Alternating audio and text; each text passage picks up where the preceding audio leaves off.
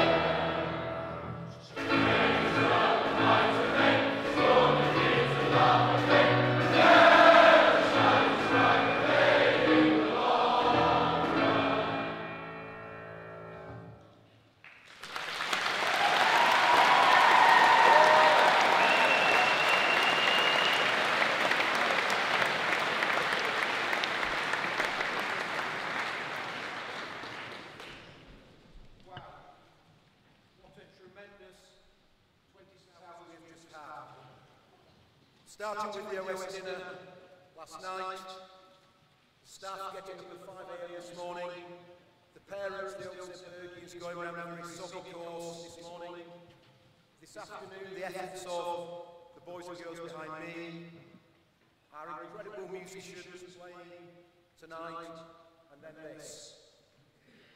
I've just got one or two thank yous to say, and we want to give our appreciation first of all to our musicians and our singers this evening. Thank you very much.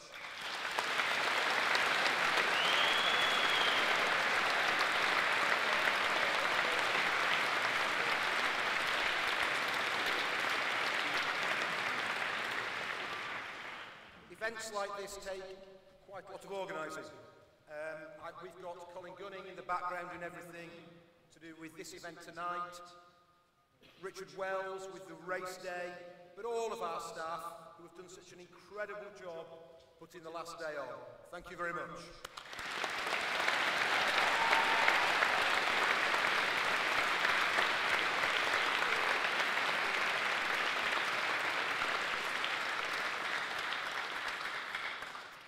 The Old Sedberghian Club are a tremendous support to the school. All I have heard was how fantastic the live streaming was this afternoon. Uh, I didn't see any of it, we were running around the course, and many of you would not have seen it, but if you did, please have a listen, it is there. I think we've got four and a half thousand views already. To all of our Old but especially to Jan and to Ben, a huge thank you. Thank you very much.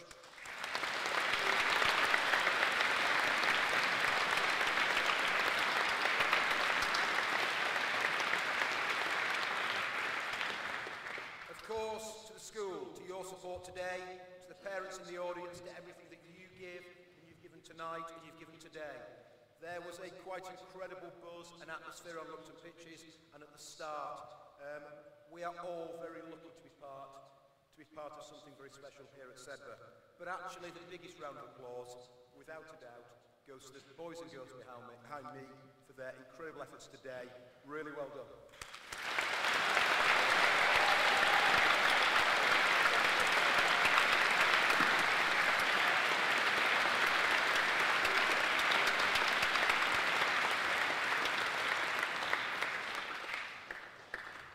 Please stand for Winder and the national anthem, and let's not hold back.